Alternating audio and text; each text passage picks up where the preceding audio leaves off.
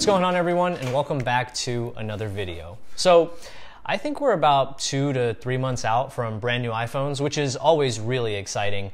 But with new iPhones comes new software, and with new software comes new betas, and I'm sure you can gather where I'm going with this. I have an iPhone 12 Pro Max that's currently running the public iOS 15 beta on it, and we're going to talk about some of my favorite features and enhancements that I've noticed while running the software on this phone.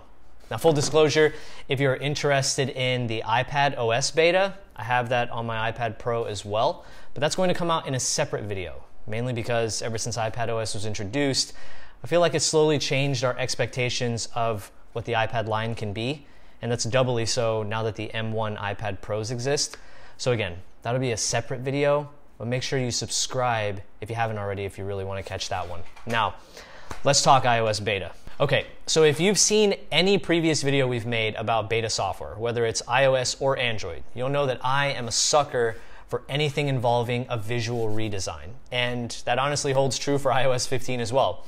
Now, I know you're probably thinking that's kind of lame, but you'd be surprised what a fresh coat of paint can do whenever it comes to how you feel about the operating system that you're using. And the redesigned system apps on iOS 15 look really dope. The first one that I noticed was the weather application. It's pretty different compared to iOS 14.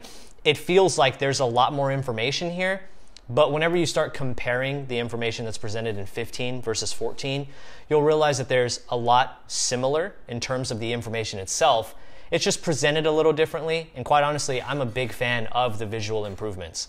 I also like that the weather animations are now full screen, and one thing in particular that I really like is that you can opt to get notified when there's like rain or snow or sleet or some sort of different type of weather in your area you can get notified for when that weather is going to start and for when that weather is going to stop.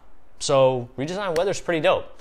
When you scroll down to the bottom though, to see who Apple credits for the information they're getting, still no mention of dark sky. I feel like a lot of people are going to be bummed that that hasn't been integrated yet.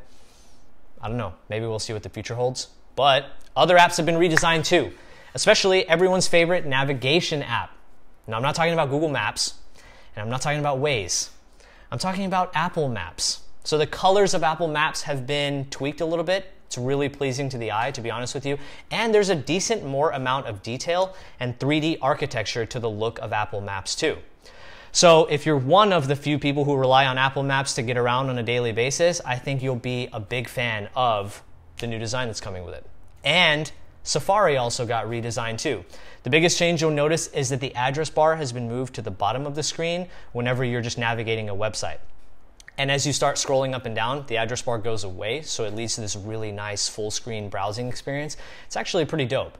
Now, when you push on the address bar, it jumps back up to the top of the screen so you can navigate to whatever website, and that looks really familiar. And my favorite feature is the more tabs you have open, you can actually swipe on the address bar when it's on the bottom of your screen, and you can shuffle back and forth between all of your tabs. Instead of having to push a menu icon and see a grid of all your tabs, you can now just swipe on the address bar that's at the bottom. So redesign apps can be kind of lame, but still looking super dope. FaceTime also has some cool new features on the way that I'm calling pandemic inspired updates. So it's no secret that we've all been a little more distanced than we probably like to be from our friends, family, and loved ones given the past year or year and a half or so. But Apple is bringing some really cool changes to FaceTime in order to make times like that a little easier to bear, hopefully. So there are a couple of new features that I want to cover, starting with grid view. So if you're on a FaceTime call with multiple people, you can now go into grid view, which will basically assign each person a tile space size on your screen, and they'll all be the same size. So if you're someone who likes to have more of like a uniformed or more like a rigid type of FaceTime call, I think this is going to be a feature change that you're going to really like.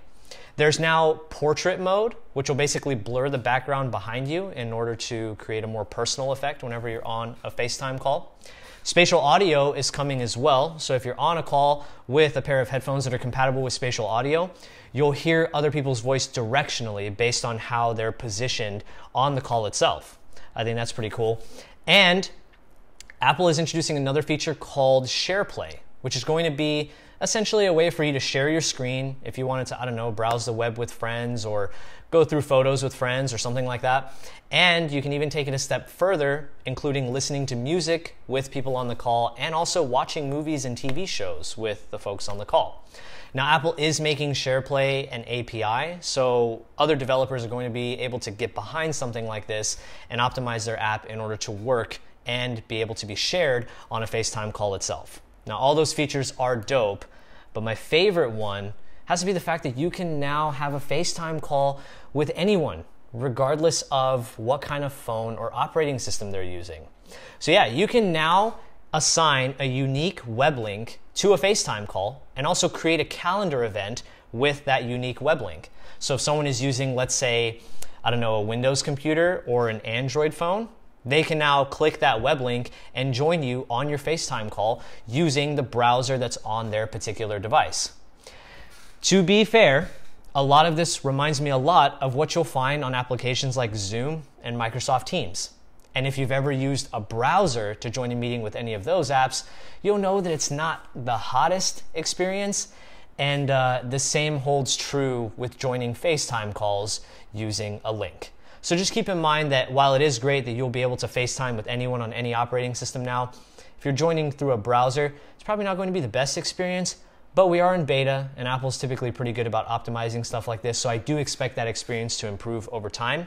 I'm just glad to see that we finally have something like that. But I think my favorite feature so far has been focus mode, which when you think about how many different features are coming in iOS 15, focus mode is actually really simple.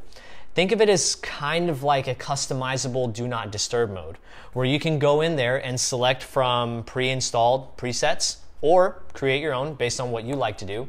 And essentially, you can tailor a focus mode to select particular applications that can notify you or even select particular contacts that can notify you when you're doing something.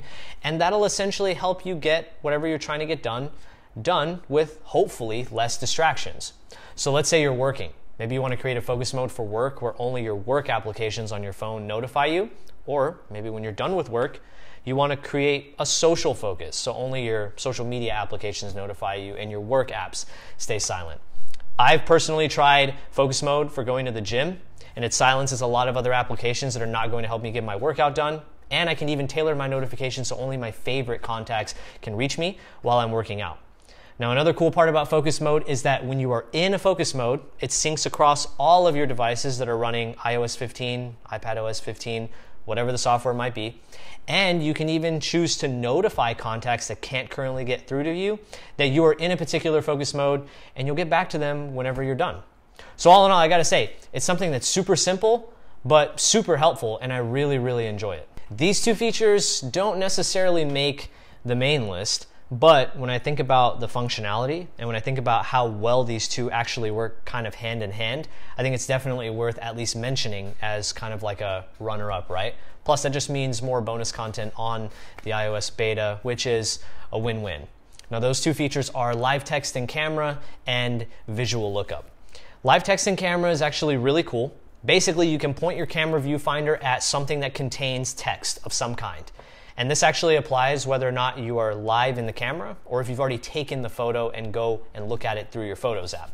You can long press on any text that might be in that image and you can copy that text and paste it into another application.